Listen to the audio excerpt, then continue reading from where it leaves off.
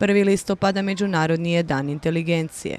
Hrvatska mensa obilježit će ga testiranjima inteligencije u pet najvećih hrvatskih gradova.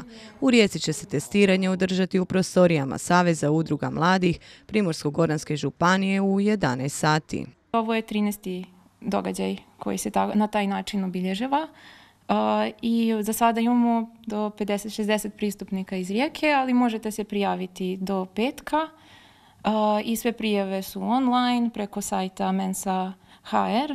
Testiranje će provoditi ovlašteni mensini psiholozi, a rezultat testiranja stiže na e-mail adresu svakog pristupnika u roku od mjesec dana. Kako biste postali članom Hrvatske mense, u subotu je potrebno ostvariti rezultat e, na testu u gornjih 2% ukupne populacije, naravno izraženo u kocentu inteligencije.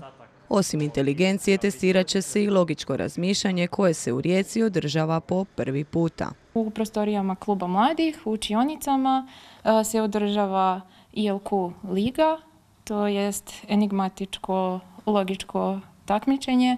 E, trenutno je četvrto kolo u, tijeku i e, možete, dovoljno samo prijaviti se isto online preko stranice Mense.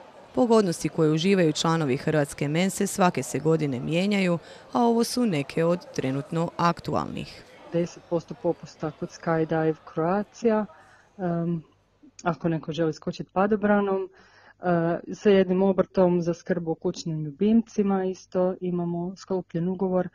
Te također uh, vjerojatno najpopularniji uh, je HŽ putnički prijevoz koji s kojim imamo sklopljen ugovor za 50% popusta za redovnu prevoznu cijenu.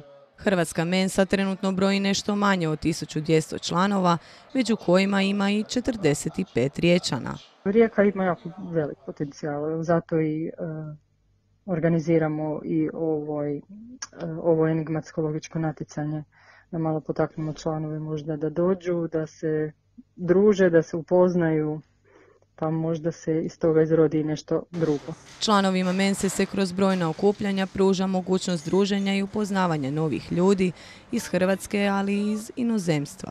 Trenutno je u Rijeci prijavljeno 60 potencijalnih novih članova Hrvatske Mense.